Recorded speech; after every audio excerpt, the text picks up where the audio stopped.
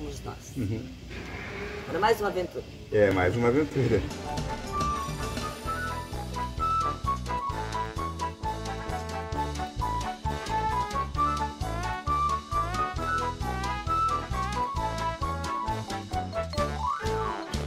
Debaixo da luna. Oi, eu sou Rilmar Bruno do programa Rilmar Bruno e hoje eu tô num, num local, num local de espetáculos. É, eu estou no circo, o Circo Zanchettini, o Circo Zanchettini, que está prestigiando o Porto Amazonas, está visitando a gente aí nesse mês de fevereiro, comecinho de mês de fevereiro, finalzinho do mês de janeiro. E eu tenho o prazer hoje de conversar com a Irineide Zanchettini. Como vai, Bruno? Tudo bem? Tudo bem. A Irineide, ela está aqui no circo desde os quatro anos de idade. Eu nasci no Na verdade, é isso mesmo, ela nasceu, mas que ela atua como artista circense Comecei cedo, com desde quatro quatro anos de idade. Pra falar a verdade, comecei com três. Com três. Com três já estava lá querendo aparecer no picadeiro de qualquer jeito. Isso.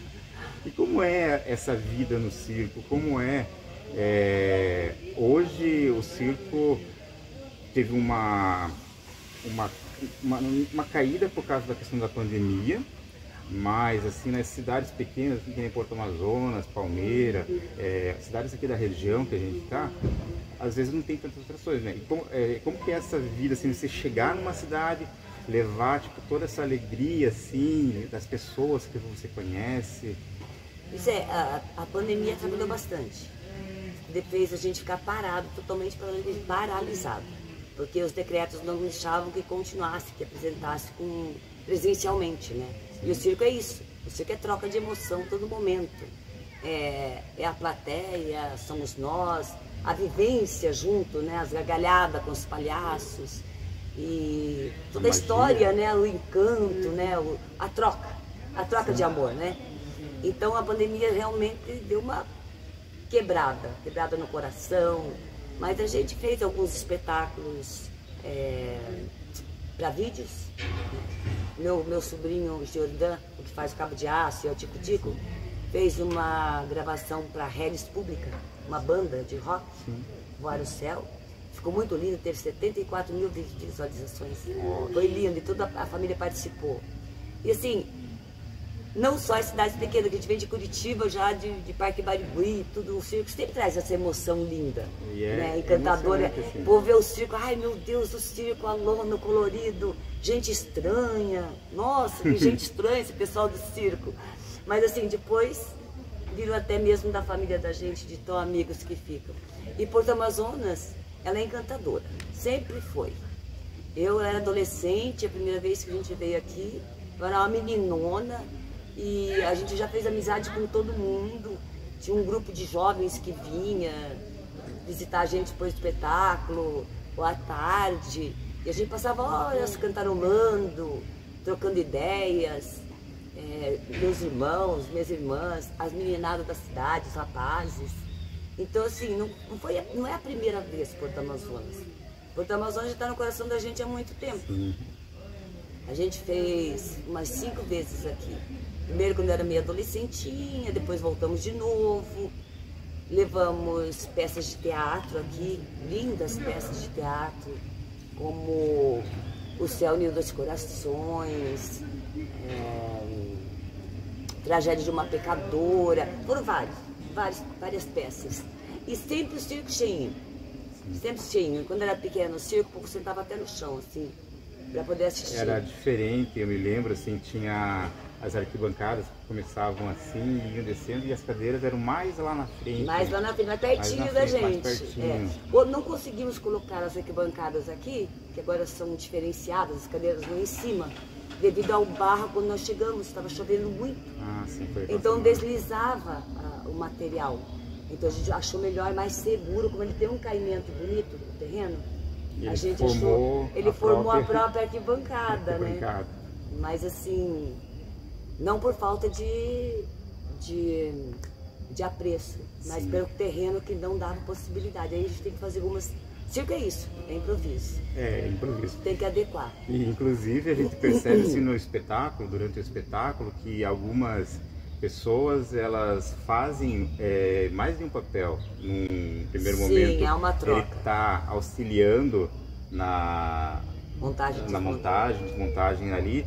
Em outro momento ele está atuando lá em cima no, No no trapézio. trapézio, depois ele está atuando ali junto com o palhaço ou com o mágico entregando alguma algum utensílio que ele vai utilizar e isso é, é legal assim a dinâmica é, que o, o profissional do circo tem né a dinâmica que o profissional do circo tem de se adequar assim a várias a, a, a- a várias funções Claro, claro, porque o circo, o circo tradicional, o, o circo legítimo, assim, que tem família, que tem vários artistas, como a gente anda pelo mundo, nós andamos pelo mundo, né?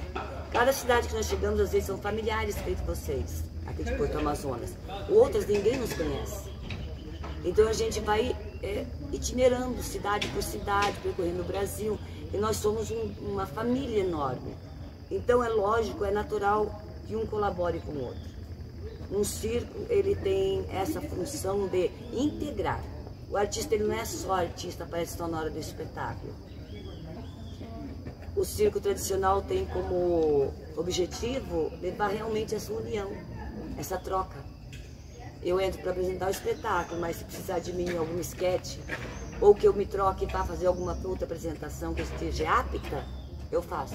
eu, eu li algumas entrevistas suas antes você foi já contorcionista Força capilar, já pendurei pelos cabelos, já balancei no ar, já fui trapezista, já fiz contorcionismo, saltos acrobáticos, trapézio. E hoje você é a cantora e E a apresentadora. Isso, porque o pessoal vai chegando, né? O pessoal vai chegando, o teu corpo também já não vai mais com toda aquela agilidade, vai deixando para os mais novos também, que eles também têm a, a missão de levar essas acrobacias. Vão passando, Sim. os mais novos. E o circo ele começou lá com a sua avó, né? Minha avó. Com a sua avó. Entrou No... num circo de irmãos Marques, que era um circo de ciganos, muito bom, cheio de encanto, de, de aventuras, de peça-teatro, de trapézio, de tudo. Eles sabiam tudo sobre circo, eles eram realmente, tinham vindo da, já de fora, né, de fora do Brasil, e falavam muito linguajar cigano, era muito lindo. E ali a minha mãe aprendeu tudo. E assim ela foi passando para nós, os filhos. E é, você, no caso, seria a terceira geração do, Dessa do- família. Dessa família. Só que já tem A quinta. a quinta geração que está ali no palco, né? Eu assisti o espetáculo e já tem a quinta geração. Tem o Serelepe, o Serelepe. que é o menininho ali, que é muito engraçado. Ele participa, ele atua de uma maneira tão impressionante assim que não- não- ele tá brincando. É brincadeira. Ele, ele tá brincando e, E a gente, aprendendo ao mesmo tempo. E a gente aplaude, assim, porque imagina o que, ele tá fazendo ali, faz parte da cena, só que às vezes é só uma brincadeira dele, ele só está brincando ali. Eu, eu achei muito impressionante Esse é o espetáculo. circo, esse é o circo, porque ele entra ali, mas o propósito dele atrás da cortina é outro. Ele parece estar brincando e realmente ele brinca, porque ele, ele quebra o protocolo também. Mas lá atrás ele fala assim, ai, eu quero ver o povo, eu quero, eu quero fazer a plateia rir. A, intenção dele é agradar. É, Ele quer, de qualquer forma, ser um artista, ele também quer participar desse mundo. Se sem o per- pertencimento, se pertencer, mas ele já pertence, já né? pertence, ele já, ele já, faz é, parte. ele já faz parte. Já é um artista. já é um artista no- do jeitinho dele ali, mas é, você, é impressionante essa questão do dele, assim, da participação do menininho. Sim, daí tem a irmã dele que é a Andressa, que faz o balé aéreo. Também já foi pequenininha, já foi a pimentinha, a palhacinha. Aí tem o Jordan Estevam, que faz o arame equilíbrio, que é um galãzinho, mas ao mesmo tempo é o tico-tico. Já estava no lobby. né? Troca personagens. Então é isso. É que Bom, circo é assim, é um passa pra lá, um passa pra cá, pessoal ensaiando, gente. Circo não para nunca, não é só na hora do espetáculo. É, é verdade. A gente tá aqui. E é até bonito isso, e é- porque é bem movimentado, é é bem bem, mo- bem, bem, Sim. vivo, né? Hoje tem uma apresentação aqui, mais uma apresentação aqui em Porto Amazonas, né? São logo mais aí, daqui duas horas, e o pessoal corre Pra, pra agilizar, deixar Pra- pronto tudo. deixar pronto para todo mundo ver a- o espetáculo, né? O real, realmente o espetáculo. É, e o espetáculo ele, ele inicia com uma música, uma música muito linda, né? Que é do. Ronald José Magalhães, grande circo rústico, que eu tive a honra de gravar no meu CD, que eu estava até esperando uma música do, de um outro compositor muito famoso. Aí eu falei, não, mas essa é perfeita. É perfeita para abertura do circo, fala sobre o circo. E é tão linda, tão genuína, tão bela. É um poema, né? E a harmonia que ela ficou, ela envolve a pessoa, assim. Você Sim. começa. é, ela, ela começa assim e, e, arrepia, assim, quando você tá no, tá no circo, é, vê, O ou- ouve, picadeiro. vê o picadeiro, ouve a música, presta atenção na, na letra. É, eu sou do circo. De um circo De um antigo. circo antigo. É lindo. É linda demais. E as música. meninas na ponta dos pés, as bailarinas dançando e aquele movimento, né? E eu realmente sou do circo, de circo antigo. Sim. É, são, é muito antigo o circo Zan- Zanche- Zanchettini. Zanchettini é um nome difícil de profissional. É, É, é é difícil de. descendência de italianos, né? Sim. Tá, a descendência italiana é essa. O CH é- vale como que. Né? Então, que o E, no caso, Zanchettini. Sim. Vale como CH é so- sonoramente. Além do, do circo, é, você também é atuante na defesa do circo, né? Você atua também na Sou defesa do junto circo. com a família, com minha irmã Gilamar, com todos os irmãos. A gente atua em áreas pelo, no Congresso Nacional, pelas leis, pelos circos do Brasil.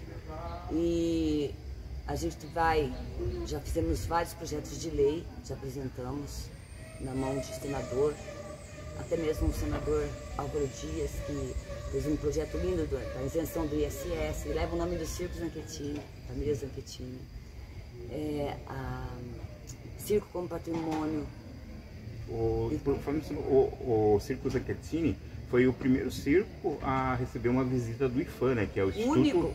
que é o Instituto Patrimônio. Histórico Brasileiro. Sim, eles vieram para uma reunião a qual foi convocada todos os circenses do Brasil, feita em Curitiba, na qual o Conselho Nacional dos Circos Itinerantes, que nós pertencemos e, somos, gerenciamos, é, foi feita primeiro uma reunião na Secretaria Estadual de Cultura, no auditório, aí logo vieram todos para o circo, nosso circo, para o Zanquetinho, para assistir o nosso circo tradicional, familiar, que isso que interessa como bem material ao país. É um circo que não tem atrações internacionais, não tem nada que não tenha a ver com o circo, com a história. Porque o circo é história. né? Ele é uma história que vem sendo contada através dos espetáculos. E daí veio a diretora do Departamento de Bem Material do IFAM, Marina Lacerda, assistiu o espetáculo, aplaudiu de pé.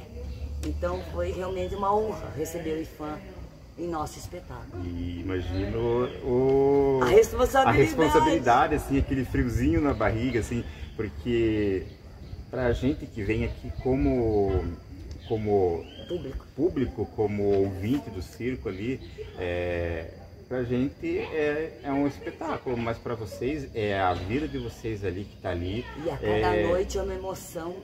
é a vida, é, digamos, é daqui, daqui é, é sagrado, o local aqui é, É. to- totalmente sagrado, né? Cada espaço desse aqui para nós é precioso.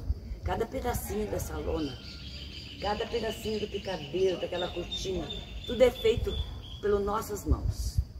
A lona é comprada, tá? Confeccionada, mas ela é manipulada por nós. Nós lavamos essa lona, nós erguemos e baixamos essa lona, nós fazemos as cortinas, nós fazemos o picadeiro, nós fazemos a frente, a entrada do circo. A gente tenta enfeitar o melhor possível para o povo ver que tá bonitinho, que tá arrumadinho. Então é, é a história contada a cada espetáculo. E vocês fazem parte dessa história do circo. Porto Amazonas, por exemplo, quantas vezes aqui?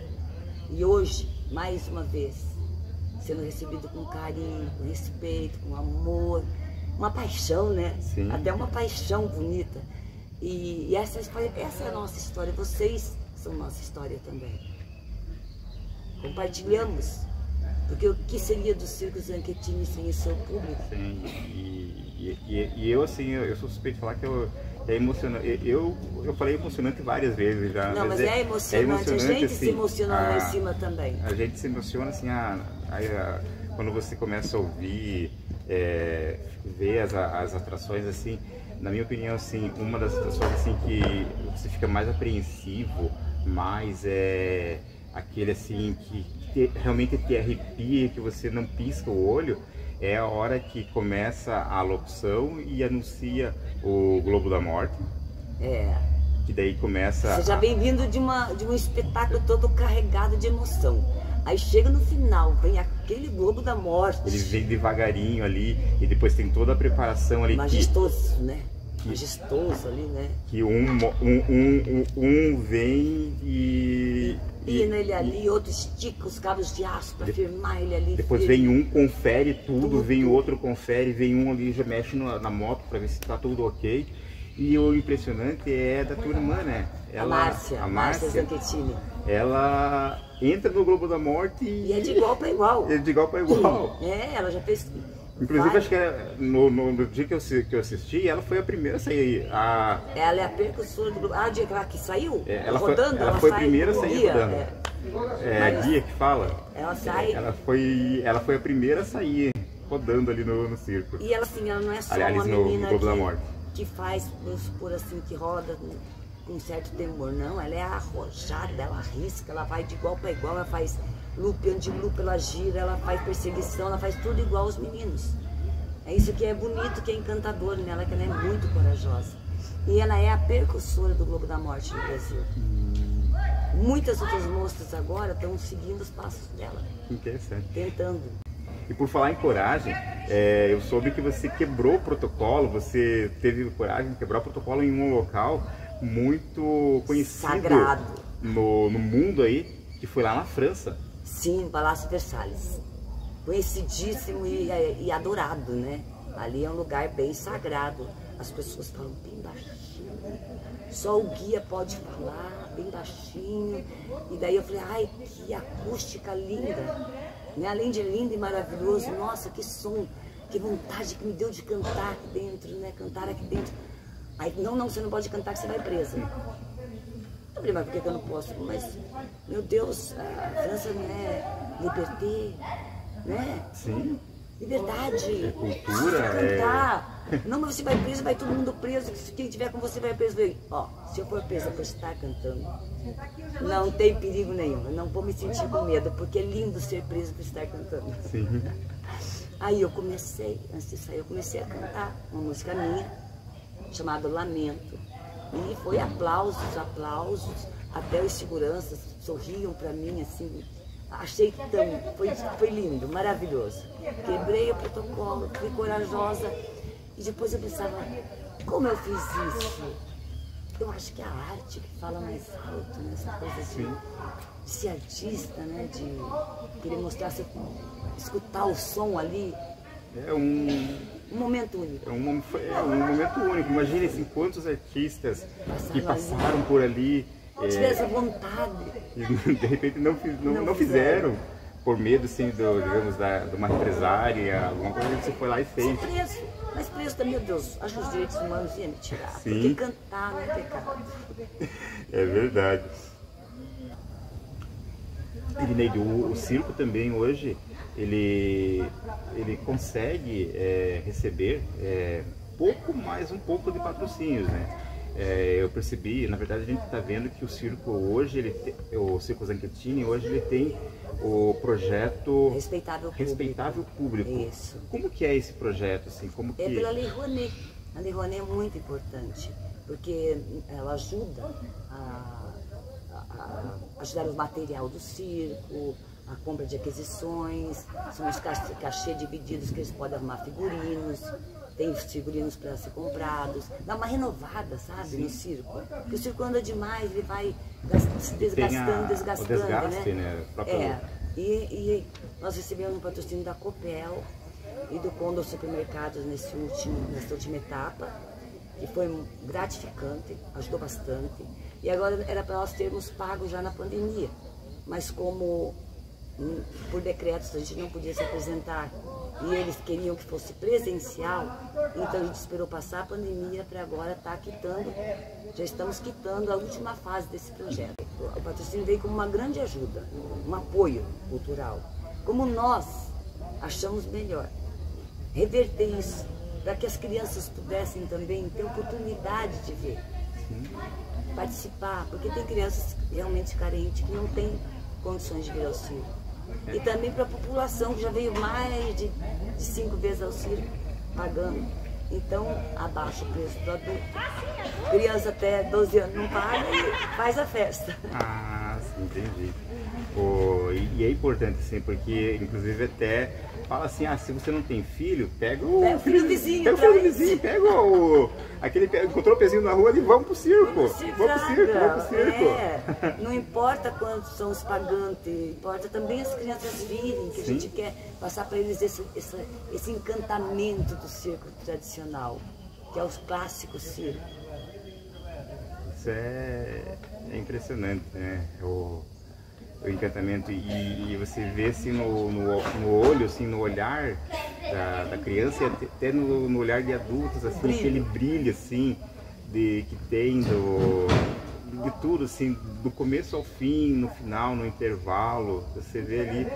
A minha filha não queria nem sair do. Nem nem sair no intervalo.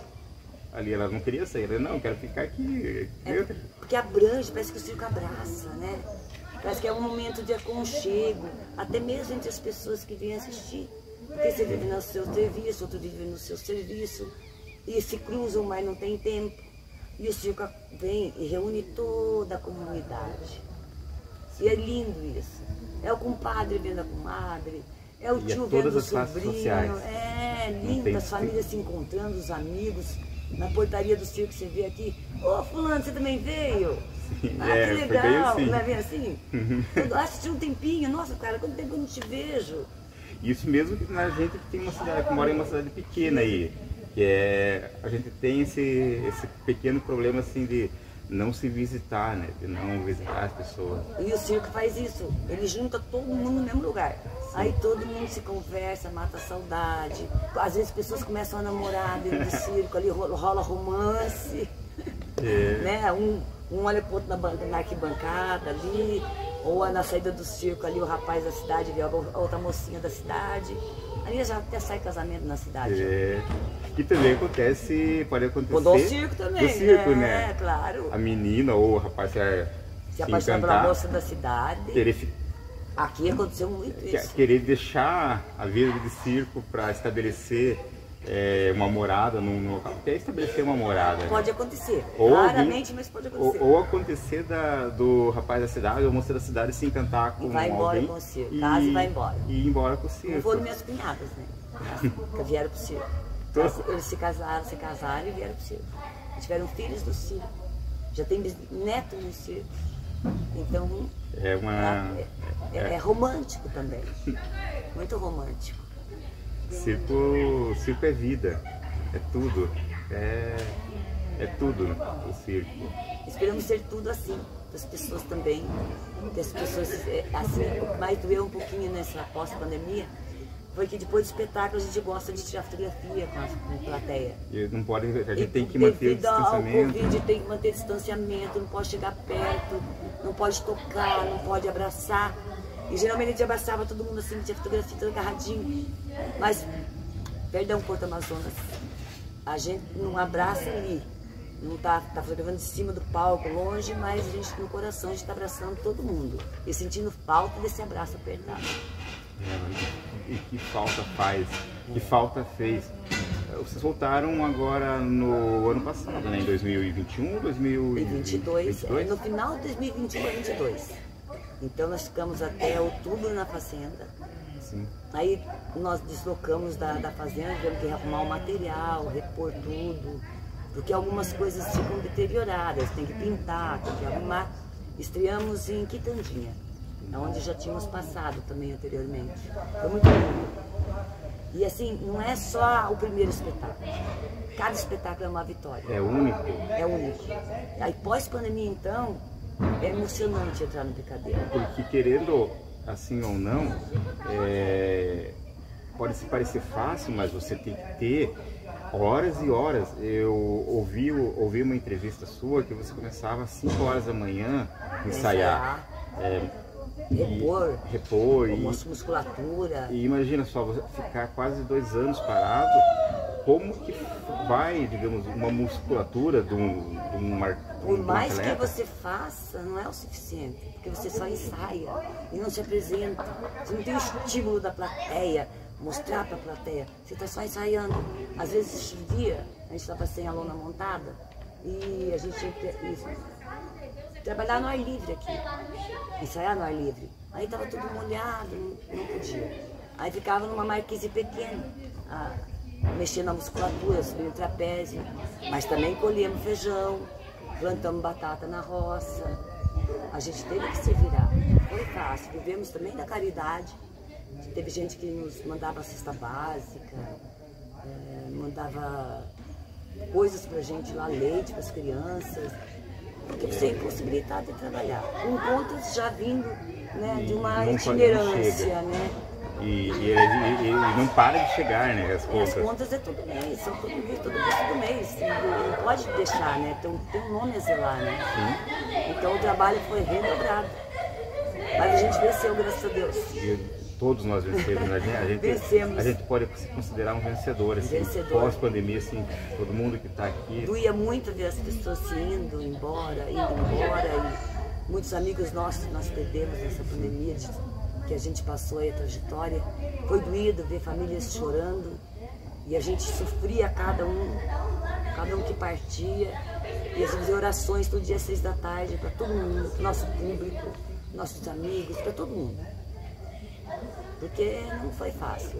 Pode falar que foi fácil, mas não foi fácil. Não, em Foi nenhum, triste. em nenhum momento foi Nenhum fácil. momento foi fácil. Em nenhum momento foi fácil, assim, pra, pra ninguém. assim. Foi uma pancada. Foi uma coisa. é, não tem palavras assim. Foi irreal, né? Não tem assim. E esperamos em Deus também que não, não feche mais, né? Que, É, que vai embora esperamos. isso e que a gente possa ser feliz novamente, né? com mais, mais segurança. Com mais segurança. Mas a, a vacina tá aí. Ah, digamos, tá aí, graças a Deus. Tá aí, a, hoje a gente tem, é, quere- querendo ou não, tá um pouquinho mais brando, assim. Devido à vacinação. Devido à vacinação, O Tico Tico tomou sim. a dose dele. Eu, eu tomei já duas doses, ia tomar a terceira, eu acho que eu vou ter que aguardar um período para tomar, porque eu fiquei duas semanas em casa em isolamento, porque eu Bem contraído. a- essa, essa variante. E eu me senti mal, mas eu imagino se eu tivesse pego lá atrás. Nossa, sem Eu passei, vacina. eu passei 699 dias sem contrair o vírus. Que No, né? sete- no dia 700 eu peguei. Puxa vida, mas pegou meio já.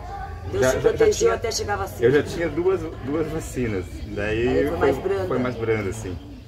É, mas Irineide, eu agradeço demais a sua hospitalidade, a sua recepção aqui para mim, para os espectadores, os telespectadores lá no YouTube, na rádio aqui, na Rádio Porta FM também, do programa Rio Bruno. Agradeço demais é, ser recepcionado por ti. É, muito obrigado mesmo. Foi um prazer conhecer um pouquinho dessa história maravilhosa que é o circo. E eu só tenho a agradecer a você. É nós que temos que agradecer, porque quando vocês nos procuram, é sinal que vocês valorizam a cultura. Então quero agradecer ao pessoal da rádio também, que deu maior apoio aí. E a você, do programa Rio Mar Bruno, desejo Sim. sucesso. Muito obrigado. Muito sucesso. Eu sei que você já tem sucesso, mas desejo que seja explosão agora, daqui pra Obrigado. frente, muita saúde, muita energia. Para Porto Amazonas e todos os ouvintes, as, os que vê, muito obrigada. Um beijo grande, felicidade, saúde e força. Eu conversei hoje com a Irineide Zanchedini, que é a terceira geração do circo, já está na quinta geração do circo Zanchettini. Muito obrigado e até a próxima aventura. Teu riso, teu sonho de infância na estrada perdido, na minha bagagem, viaja comigo.